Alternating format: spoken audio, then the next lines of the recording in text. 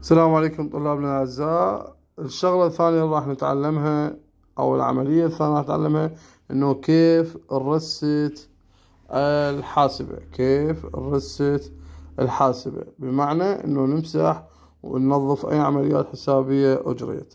نروح على ال shift ونروح إلى هنا مكتوب كلي CLR بمعنى إنه clear رقم تسعة والنوبة دوس ثلاثة اللي هو all. والنوب يساوي يساوي إذا هنا عندي ترستت دائما يوم تترست فيوم تقرون هنا راح تلقى الأمر عندك هنا. هذا الحرف هو حرف ال D بمعنى إنه degree هسه راح نتعلم وياكم مهارة أخرى إنه كيف راح نحول بين الأنظمة بين ال degree وال radian مجرد أدوس shift بعدين أروح على ال mode. فراح يطلع لك إنه عندك هنا ال rad وعندك ال degree وعندك أنظمة أخرى.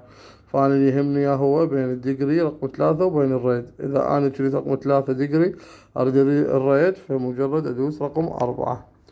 راح يتحول عندي الحرف إلى R. تمام شباب؟ إذا محاضرتنا هاي الثانية بالنسبة لاستخدام الحاسبة هي كيف أحول بين الأنظمة وكيف أ reset الحاسبة شو وقت أحول بين الأنظمة؟ عندما يكون الأرقام اللي عندي آه، أرقام آه، النظام اللي هو ال degree أرقام عادية وليس زوايا.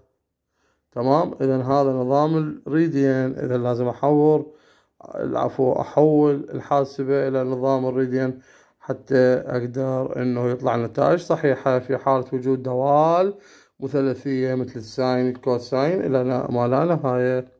تمام شباب؟ أتمنى لكم التوفيق.